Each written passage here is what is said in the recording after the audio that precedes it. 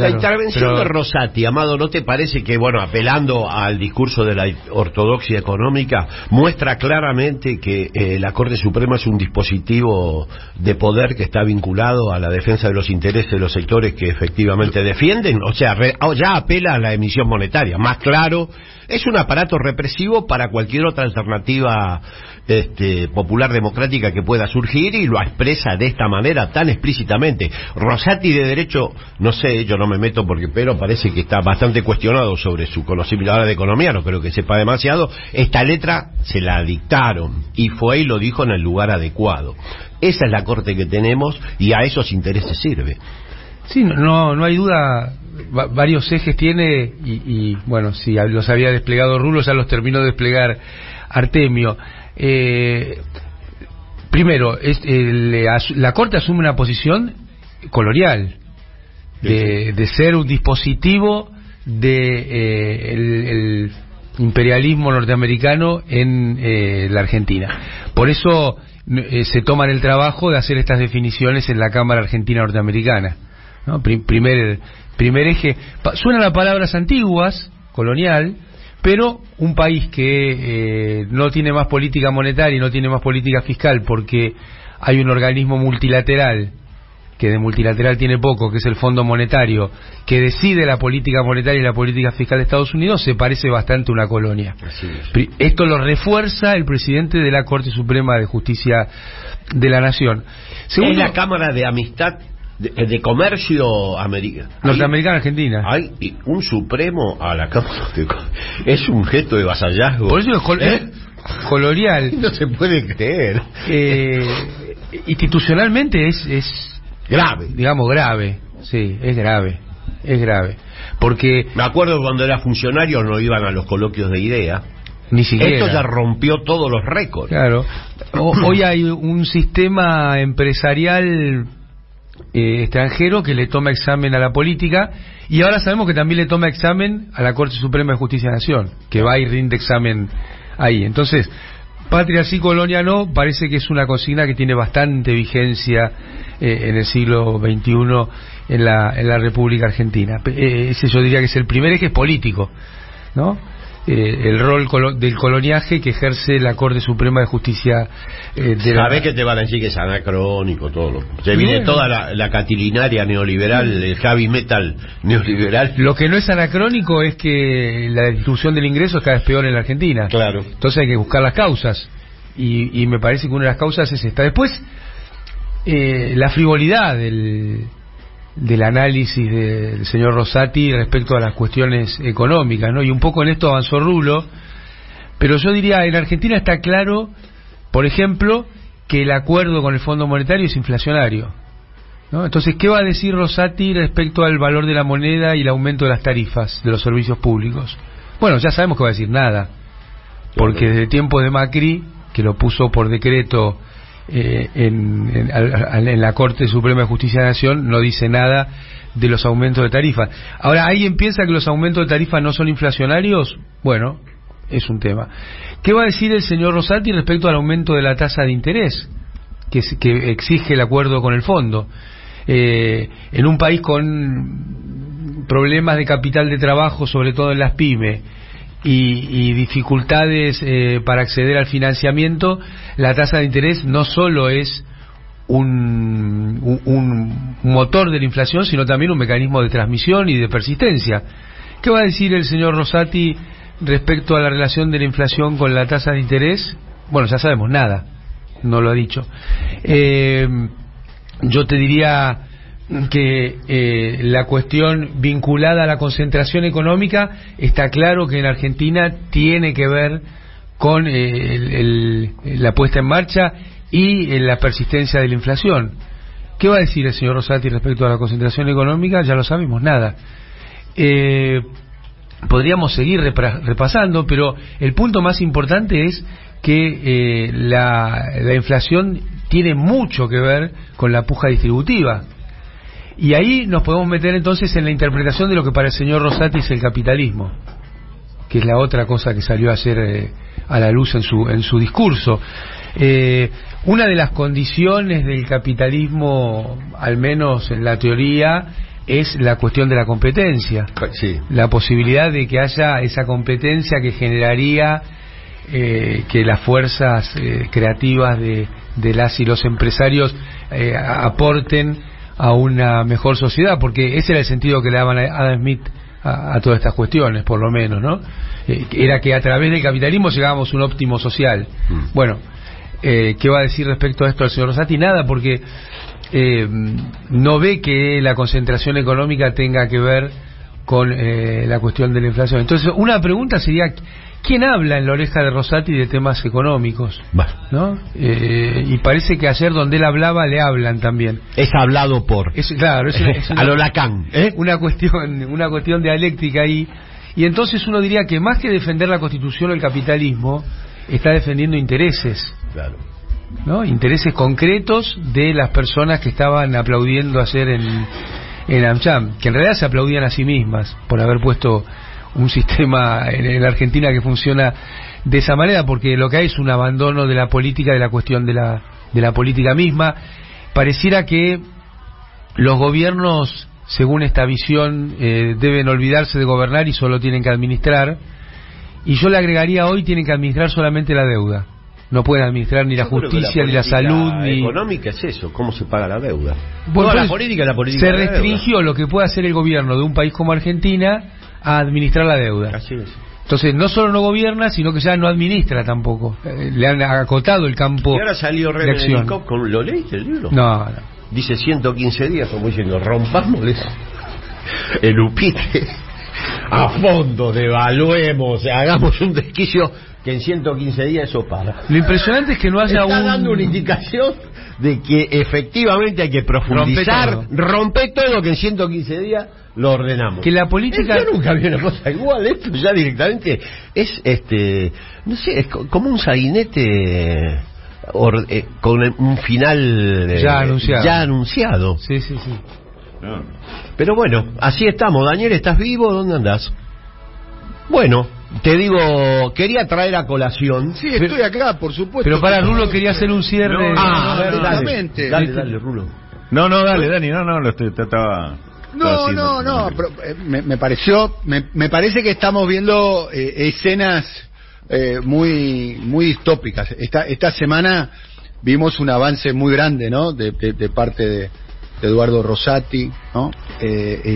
No, no, en el centro de escena, ¿no? Y, no, no y justo además en el mismo, el mismo día, ¿no? Eh, temprano a la mañana, el alineamiento automático con los intereses de Estados Unidos en la Argentina, eh, luego el conocimiento sobre hay, hay, hay un debate ahí no claramente no pero eh, eh, un avance muy grande sobre el sobre la, voluntad popular interviniendo en, en un proceso electoral de las provincias eh, y, y estamos hablando de, de Rosati ocupando el centro de la escena Eso, ¿no? es- ese es el punto, me parece. Ahí- ahí hay la política se Ahí- corrió. ahí- Sí. Igual, viste, Bueno. yo quiero problematizar un poco el tema eh, en el sentido de que Rosati, hasta donde yo sé, fue intendente de la ciudad de Santa Fe, capital, por el PJ, fue ministro de Néstor, y fue el hombre que aportaron casualmente los gobernadores en el acuerdo Pichetto-Macri con el nombramiento de Rosencrantz y el mismo, ¿no? Mm. ¿Eh? Sí. Eh, hay que decir que los senadores de UNIAC y los senadores de Mansur, que son las dos personas directamente afectadas, No votaron. vo- votaron a Rosati. A votaron a Rosati y estuvieron contra el juicio político a la Corte. Claro, entonces Claro. estamos hablando del No nivel fue de- solo allá, sino acá también. Exactamente. Es como- bueno, son dos que- tópicos a agregar a su larga lista de fracasos. ¿A quién? a los senadores y... No, es para entender la profundidad del problema. Claro, sabemos que eso pasó. Que a mí no me cierra, discúlpeme, no me cierra porque porque porque no lograron convencerme, eh, pero estoy muy dispuesto a que me convenzan de que esto es peronismo antiperonismo. Ah, bueno, pero no. porque vos vivís la ilusión jurídica de la política que cree que el peronismo es peronismo cuando se mete todo dentro de un sello. El peronismo es peronismo cuando tiene un proyecto popular democrático de integración y soberanía política, económica y justicia social, no cuando aparece el escudo justicialista y dice, acá están todos reunidos los peronistas. Eso lo conocemos bastante. Bueno, que- cuando el peronismo se une todo, se hace conservador y deja de ser peronista. No sé si te respondí. Sí, sí, sí. Porque vos también metés el dedo en la llaga. No, el dedo en la llaga no, para entender la profundidad del tema. Porque sí. si no. Atraviesa eh, horizontalmente a todas las identidades político-jurídicas, decís vos. Sí, por eso. Pues si no, nos Estoy vamos a dormir tranquilos, persiguen al peronismo, nos quedamos tranquilos, ¿entendés? Es el neoliberalismo, la derecha, y hay un nivel de complejidad que me parece. eh, o, o de simpleza, ¿no? Teniendo en cuenta que eh, gran parte, a ver, de los tres ministros de la Corte que votaron a favor de esto, eh, dos son taxativamente peronistas. Maqueda, senador del PJ cordobés. Bueno, son del sello del PJ. Claro, bueno, ¿te acuerdas Ah, que hablamos ver, que el no peronismo, el antes de Néstor No, no, era no, un no, partido chicos. neoliberal que llevó adelante... nosotros, bueno, ¿no? el peronómetro no se inventó. No, no, al contrario, yo no niego la condición de peronista, digo, la fase peronista previa a Néstor era una fase neoliberal plena. Desde la muerte de Perón hasta la llegada de Néstor, el peronismo contribuyó al ajuste neoliberal en Argentina de manera plena. Este, basta ver este, la década menemista para darse cuenta de eso y una buena parte de los cuadros políticos, jurídicos, que existen hoy perviven o sobreviven o sobrevienen de aquella época y tienen esa, ese formato ideológico eh, como legítimo. Por lo tanto, eh, eh, Y sobreviven también no se puede la hablar de alianza- Pero Daniel, general. vos, p- problematizando, como vos decís, una de las consignas de, del peronismo me parece que es patria sí, colonia no. Otra de sería... un sector del peronismo. No, no, Andá- andá a de- decir la no, no. Pichetto que- de un sector tiene razón. Bueno, pero entonces, bueno, entonces todo es peronismo. ¿Está bien? Sí, yo no discuto la calidad peronista de Menem, ¿eh? Yo creo que el peronismo, como decía Cook, es una construcción con final abierto. Hay un peronismo de los sectores dominantes y otro de los sectores este, dominados. Es un gigante invertebrado, sin conducción, puede conducir a cualquier lado. Pues, Bueno, la CLO lo plantó también como teoría. El populismo tiene un final eh, abierto y un populismo de los sectores subalternos, un populismo de los sectores dominantes. El peronismo se funcionó así históricamente y las luchas internas del peronismo expresan eso. Por lo tanto, es cierto, hay un peronismo que piensa la Argentina de una manera y otro u otros sectores peronistas que la piensan de una manera antagónica. Por eso que este, es tan difícil lograr una síntesis en, en ese espacio. Perón quiso hacerla en los 70, le salió un tiroteo. No una síntesis. Pero bueno, es así. Eh, ¿Qué va a hacer? No sé si he sido bastante claro, ¿eh? Lo, lo- lo que trato de traer al presente, después si quieren vayamos a, a- a otros temas más de la cuestión económica, Sí. que ese que ese momento de decisión, yo recuerdo una conversación que tuve con vos, Amado, eh, cuando se nombraron a los jueces de la corte. No me ¿No? la verdad. Eh, recuerdo que vos tuviste vos tuviste una conversación privada con un senador Con en varios. momento. Bueno, ¿dónde, ¿qué le dijiste vos? Y que lo que estaban haciendo iba en contra de la Argentina, iba en contra del campo nacional y popular. Que votar esos esos jueces de la Porque Corte. además no se votó hace 40 años, no le podemos echar la culpa a Macri. Por eso es de ayer y no tenía ahora los eso. senadores para nombrarlos, ¿eh? Claro. Macri no tenía los senadores para nombrarlos, ¿eh? se lo juntó, se lo juntaron los gobernadores y Pichetto, Así es. ¿No? Así es. Está, está bien, bueno, pruebas al canto lo que se está viviendo, lo que se está viviendo ahora, digo. Digo, y, y no hay, no hace falta a ir, no, no hace falta irse hasta eh, mu- muy, atrás. Estamos hablando del año eh, 2016. Ahí lo tenemos al profe Vinieski, que el otro día hicimos el programa eh, eh, eh, para, para Canal Red, y recordaba algo que ni yo lo tenía presente, es que Rosinger y Rosati aceptan ir por decreto y se quedan seis meses por decreto, hasta Claro. que los terminan nombrando por, por el proceso legal. Sí, sí. Le dijeron, esto es demasiado. Sí, hacelo pasar por el pero Parlamento. todos los senadores avalaron eso. Claro. Bueno, claro. En una en una andanada, Daniel, ya que bueno, entramos en esto, donde avalaron muchas cosas más, ¿no? Por ejemplo, el tema de los buitres. Sí, Claro. sí, bueno, Pues, no empecemos eh, a Está bien enumerar traer porque... estas cosas al presente, pero, eh, a ver, porque me parece que para explicar lo que, estamos lo que está pasando ahora, hay que ir un- unos pasos hacia atrás. Claro.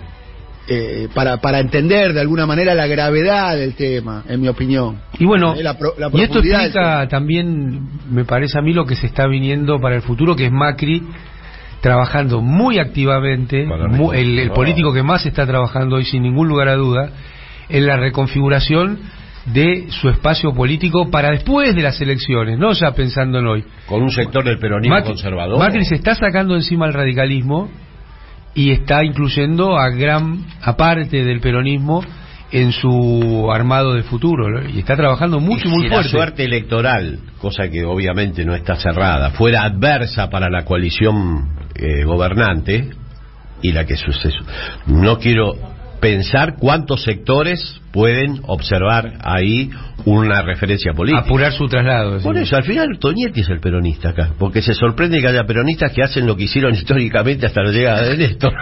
es raro. No, para, para, una para, situación yo, eh, compleja. para, ¿eh? para, para. ¿Cómo, ¿Cómo atacan al conductor, eh? No, no, no, al contrario, te digo. Yo soy un el blend. peronista de primera hora sos vos, ¿eh? Cuya proporción mayoritaria es peronismo.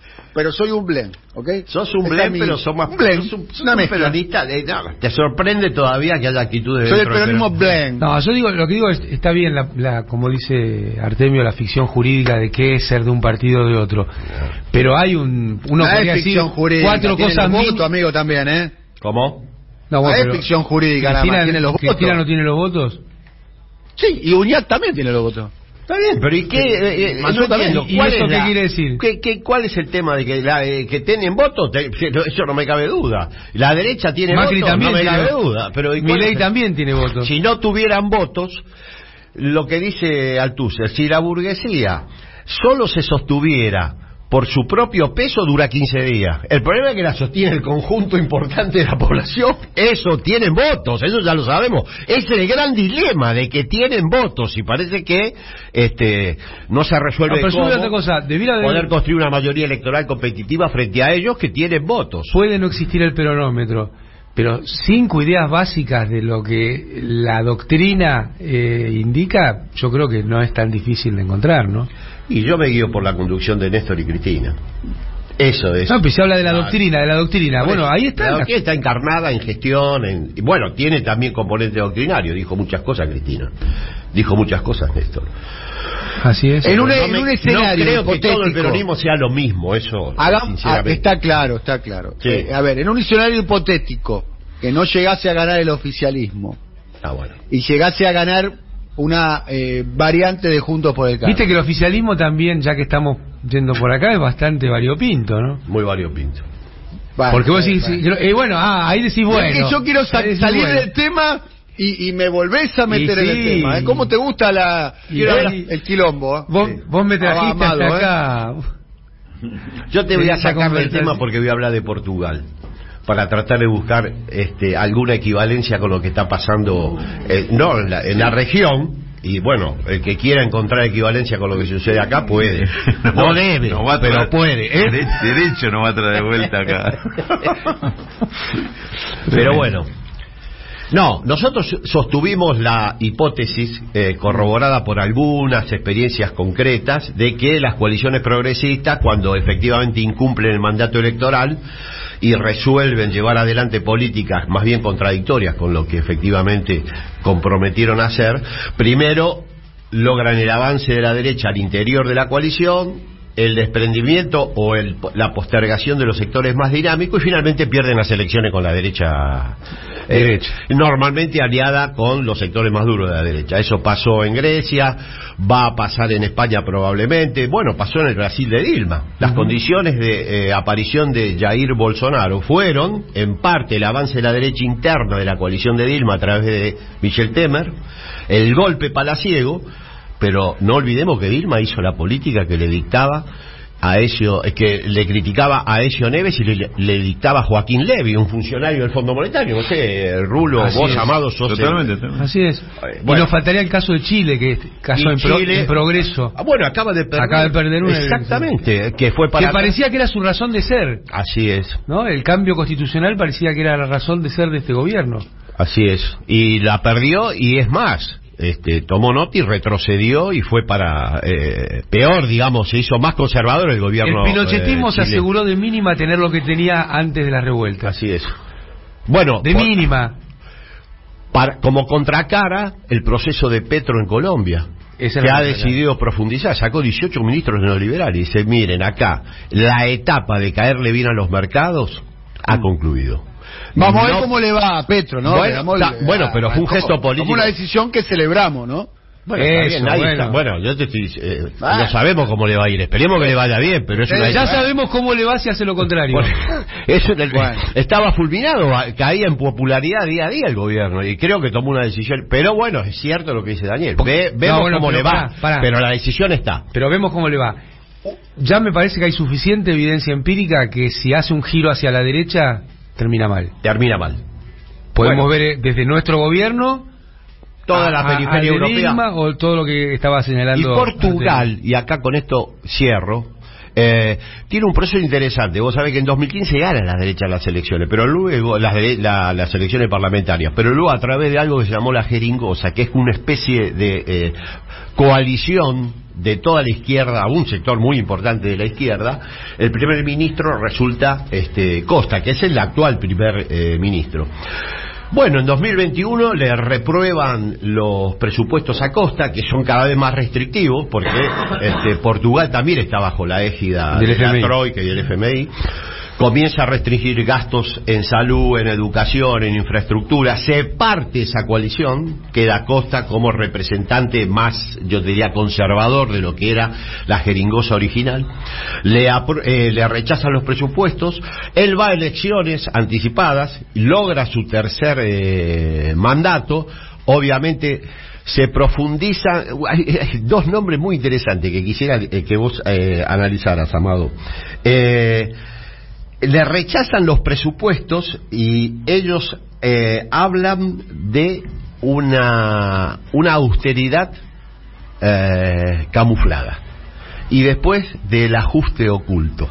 Como que Costa está llevando un ajuste de manera oculta, que le da resultados electorales, pero las, cuestiones socioeconómicas son tremendamente infortunadas para Portugal. Por supuesto, ¿qué pasa ahora? Está en una crisis de la cual no sé si sale. Me parece que nuevamente la derecha va a tomar la dirección política de Portugal. Pero muy interesante porque dentro de la coalición avanzó el sector más conservador, los sectores este, más dinámicos este, fueron Desplazados. desplazados y no tuvieron ni siquiera la posibilidad de tener como en Grecia, representación parlamentaria, y llevaron adelante lo que llaman ellos La este, austeridad. la austeridad camuflada y el ajuste oculto. Eh, bueno, la población en eso acompañó un tiempo, pero ahora entró en una grave crisis política. El primer ministro, hay un problema de corrupción también en el medio, pero no importa eso, porque los resultados son muy deficitarios. O sea, eh, es, es lamentable. Y Estaba viendo el, el debate entre los candidatos a diputados en Grecia. Bueno, encabeza nuevamente la intención de voto la derecha en Grecia. y el segundo es Tsipras. Eh, pero efectivamente no pueden resolver la crisis que se inició Claro. con la moderación de Alexis Tsipras que puso en crisis a Siriza. Bueno, ahí hubo desprendimiento de todo tipo. Uno de ellos fue Varoufakis, tu amigo. Tiene cuatro puntos de intención de voto. Y vos fíjate que Bueno. esto que estás desarrollando, en Francia también tiene su despliegue. En Francia, en segunda vuelta, la población vota a Macron para que no sea la ultraderecha, Le. Pen, quien gane la elección. Ahora, ¿cómo responde este acompañamiento de, de la sociedad eh, Macron? Con un recorte del sistema jubilatorio. Claro. Entonces, eh, eh, esa supuesta moderación, en realidad, encarna también otra versión de las políticas de derecha, ¿no? Eh, que gran parte de la población en un país como Francia sale a, digamos, a pedir que se pare esta locura.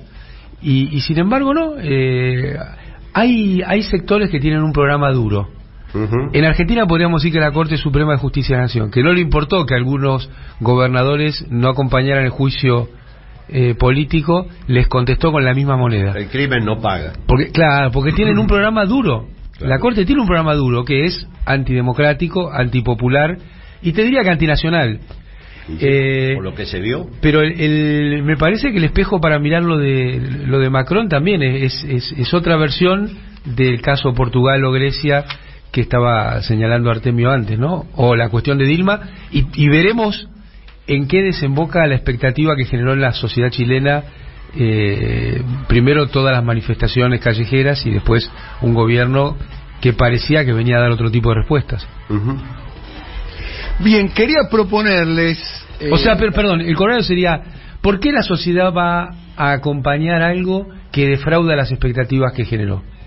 Ese sería lo que se pierde de vista cuando se entra en esas derivas políticas de eh, la supuesta moderación y el supuesto diálogo. Bien, con respecto al tema de Brasil, para mí hay un tema elemental, este, que es que el proceso para mí comienza con Lula, no sé, no, no le, no, no le, no lo pondría todo en la cuenta eh, de, Dilma, eh, que es eh, fundamentalmente pasaron, pasaron varias cuestiones que creo que está pasando acá en la Argentina, por eso eh, el proceso de la Argentina lo veo más parecido a, a Brasil 2013 ¿eh? que, que, al, que al regreso al poder de, Lula en el eh, 2022, que es una desmovilización de la base electoral, que es un elemento central de lo que está pasando ahora, en lo que yo observo, hablo, eh, hablo con, como un observador, sin ser dueño de la realidad, eh, veo también una apatía por parte de la militancia, ¿eh?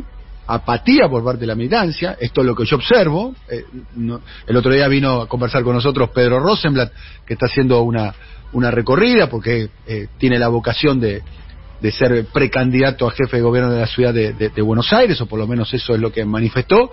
Y, él recorre las unidades básicas, los centros culturales, se reúne con, con los vecinos, las vecinas, los militantes, y me confirmó que lo que él percibe es eso. Este, hay una eh, desmovilización de la base electoral y una apatía de la militancia. Hoy, ¿cuál, cuál sería el, la consigna por la cual, eh, la, la, cual se tiene que, se podría eh, salir a, pintar una pared hoy? ¿Cuál sería? ¿Mm?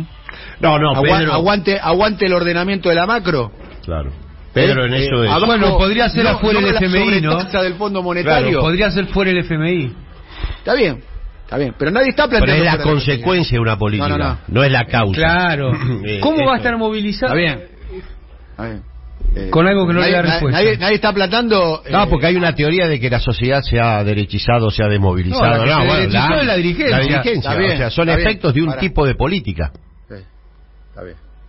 Bueno, bueno, bueno, bueno. Lo que, lo que estoy plante lo que quiero plantear, y acá hay gente que me está escribiendo a través de, de, del WhatsApp, es que en un hipotético de gobi gobierno de Juntos por el Cambio, que no habría que descartar que suceda, ¿no? Claramente, ¿puede pasar o no puede pasar?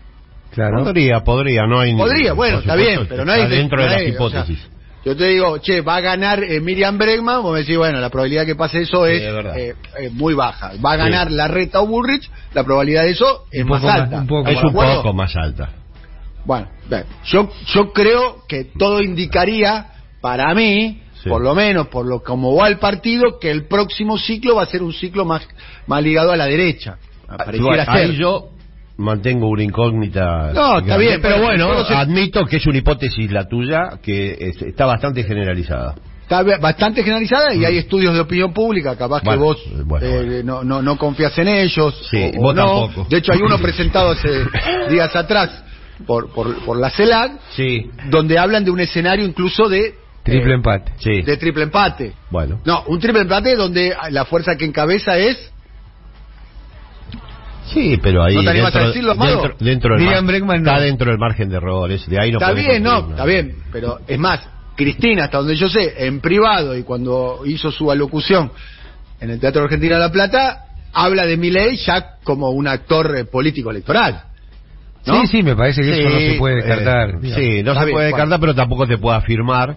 Pero yo sé que ¿Eh? vos tenés una posición con respecto a mi ley de que no hay que tomar nota de lo que está sucediendo en las provincias, que eso no expresa nada.